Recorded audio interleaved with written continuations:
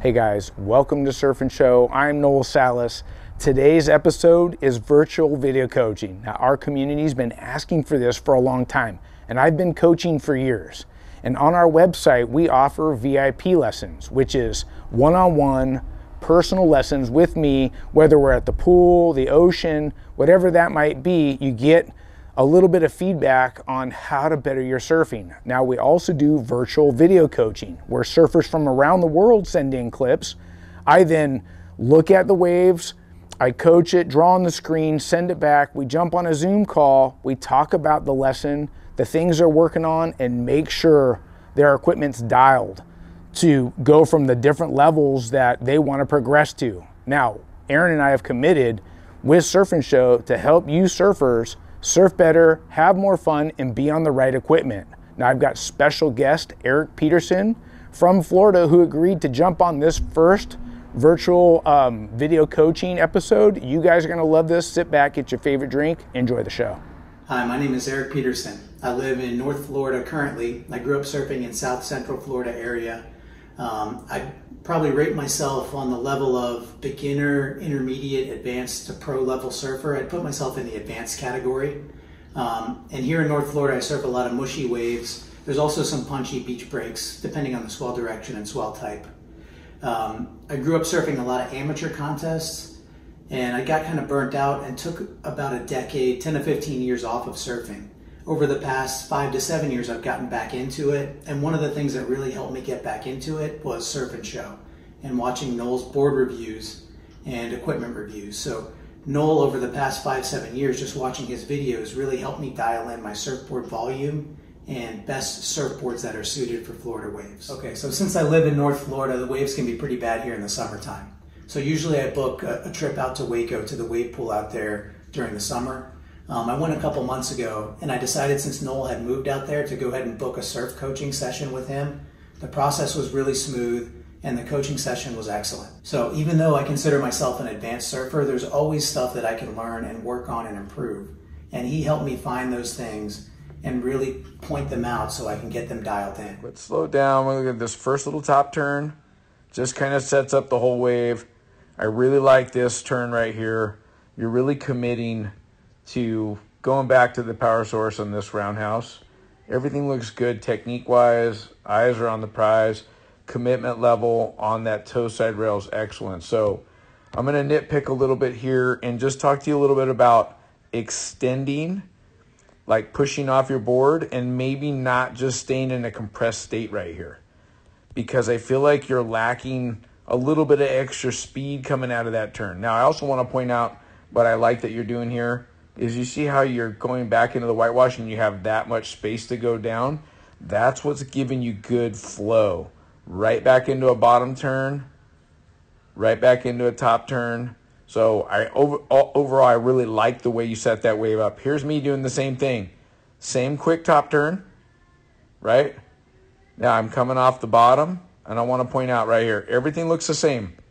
Let's get in close. My hand's in the water. This hand's over here. Eyes on the prize. Committed to this rail right here. But what I want to point out is, let me zoom out. Watch me extend. Look, I'm pushing off my board. You see that? Look how tall I am. And then I can compress in hard, just like you did. And look, I have the same amount of space down here. But watch the flow. Right into a bottom turn, top turn, able to stick it two more times. So extending and, and compressing, maybe just use more of that body to generate a little bit of speed. Now here it is again. This is something I kept seeing happen. This is excellent right here.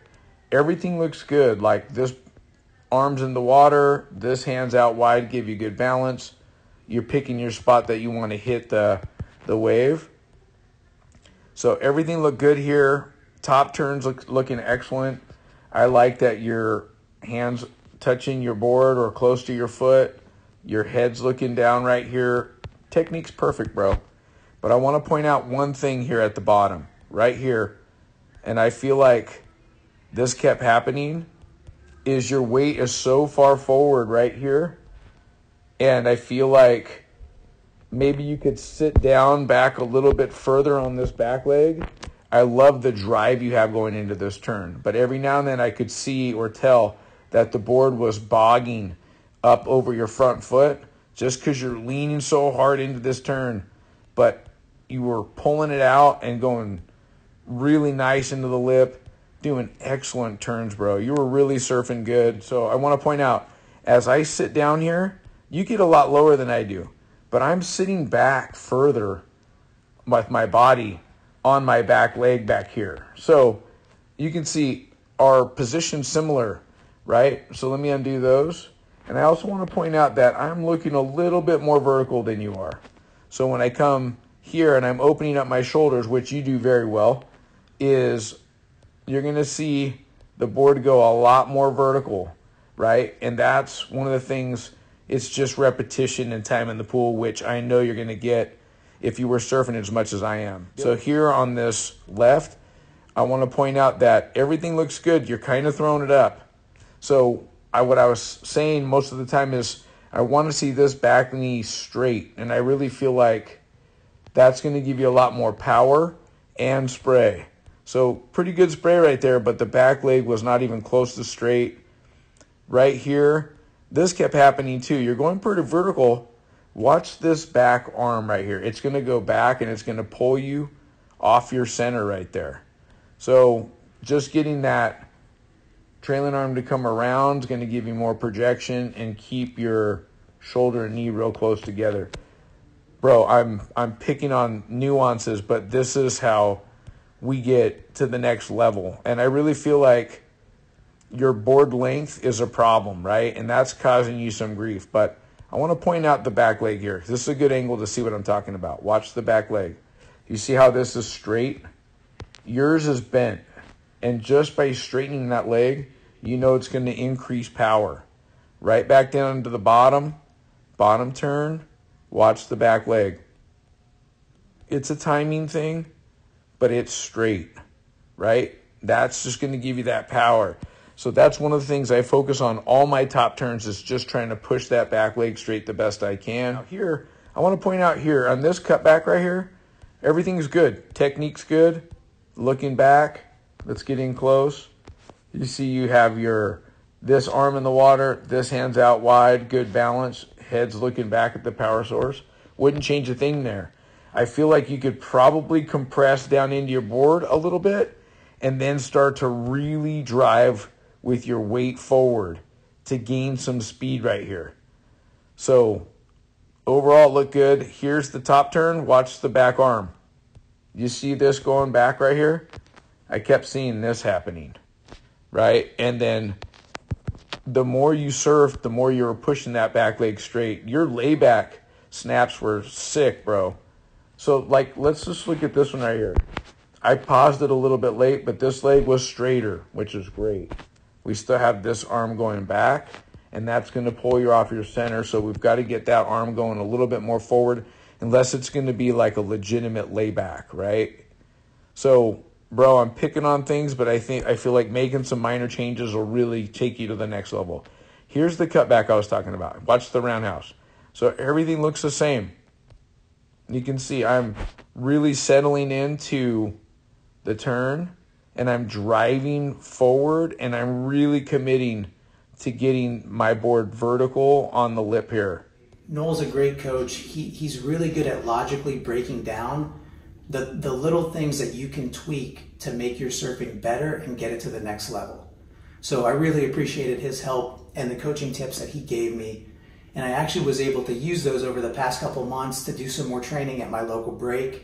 And um, actually wound up winning the, the Eastern Championships for, for my division, which is the 40 and older division, um, up in North Carolina this past weekend. So thanks, Noel, for the help and for the guidance and helping get my, my surfing skills uh, improved. Now that you've seen some of the stuff that Eric and I were working on, tips to help him get better, you saw him surfing, me critique it, then my own surfing, and now I want to talk about practical application. Getting on a surf skate and practicing what we need to be feeling when we're out in the water. Now, if you follow the show, you know I like the slide um, uh, trucks and the boards. They feel most like surfing to me. This is the Gussie Sea Psychedelic. Now, one of the things uh, Eric mentioned in the episode when it started is his level. He, he believes he's an advanced level surfer. I think he's at the highest level for advanced, maybe tipping into the expert level surfing, and he's winning amateur contests for his age division. I want to start with backside because that's where I started with the first wave. And it was when Eric was um, coming out of a cutback and he was going to rebound off the whitewater. One of the things I was talking to him is he's in a nice athletic stance and posture and he's holding the rail and the board's on rail and he goes back to the power source and to rebound, but he's not gaining speed there. This is what I believe advanced level surfers can grow in is learning to extract speed by the way we push off the board using the rails that gives the board that burst of speed in those areas that it's hard to generate speed. So when Eric's in that um, athletic position with his knees bent and he's on rail and he's holding that cutback, if he keeps that rail engaged and then pushes off his board or extends, just that extension a little bit will give us a little burst of speed and then we can hit that whitewash on the rebound a lot harder. All right, now I'm gonna get on the board. I'm gonna show you what it looks like to put the board on rail and act like I'm doing a cutback and staying in an athletic position, okay? So I'm gonna get one pump, I'm gonna do my, my, my cutback, I'm holding it, and that's it. So I was in an athletic position holding the rail. And when the board was on rail, I was holding speed, but I wasn't gaining speed. Now this time, I'm gonna hold it on rail and then I'm gonna push off my board and you're gonna hear the wheels offer some traction and when I push off the board, the board's gonna squirt with speed. Here we go. So one little pump, here's my cutback. You could hear the wheels actually grip the concrete I'm pushing off and the board squirts with speed. If Eric had pushed off in that cutback going back towards the source, he'll actually gain speed, be able to hit that lip a little bit harder, come off the bottom, have more speed, more flow, and attack the next section. Now the practical application to Eric's front side, I was talking about his front side snap set. He would come up, if this is my wave right here, he would come up and he would set it up there, back knee bent. And he could get the board pretty vertical. However, a lot of the times he was getting stuck or hung up at the top because he wasn't pushing enough weight down on his front foot. Or maybe even better said, if he had pushed his back leg straight, when this leg goes straight, that's the action. The reaction is that this front leg bends. And when it bends and this goes straight, my weight shifted forward. Okay? That's gonna get me not only more spray and more power at the top, but it's also gonna get me to come down easier with a lot more speed to go right into the next turn. Let me show you. All right guys, so this is my little wave. The grass represents the lip. The first one I'm gonna do is I'm gonna hit the lip and I'm not gonna push the back leg straight and you're gonna see it's hard for me to keep my balance and rotate a pivot right on the lip. So one push, I'm getting my feet set. Here's my bottom turn. I'm gonna come up, hit it, and come back down. It's really hard for me to hold my balance that way. What's happening is I'm getting to the lip and I'm trying to turn on the back truck right here and not push my back leg straight. I feel like front side, that's harder to do. I've skated a lot of half pipes, quarter pipes, bowls, and all kinds of different banks. And I always want to come off the bottom. And when I hit here, I actually want to hit it and push my back leg straight, shifts that weight forward. Let me give that a run. All right, one push, get some speed, bottom turn, come in, push that back leg straight, right out. One of the things I want to point out is I came into this bottom turn, I came into this lip a lot steeper and I pushed that back leg straight and my trailing arm was coming forward. We saw the tail get loose and start to slide. That's what happens when you push. I'm actually pushing the fins past the lip. That makes it easier for me to slide or do the snap, come down, and with this leg being straight, it's offering more power and it makes it easier for me to look down, go to the bottom, and do the next turn. Well, guys, I hope you enjoyed today's episode. Special shout out thanks to Eric Petersen for allowing us to share his coaching session for the better of our community. Now, you can dive deep into a lot of different topics by becoming a patron. We've got frontside snaps, bottom turns, cutbacks. There's a full library that you pledge five bucks for the month and it'll dive as deep as you want to go from that lower level intermediate all the way to expert pro level tips to help you progress and get along. Look, if you like the show, ring the bell, subscribe so you don't miss an episode, and give us a thumbs up if you like our content. Until next time, we'll see you in the water. Bye bye.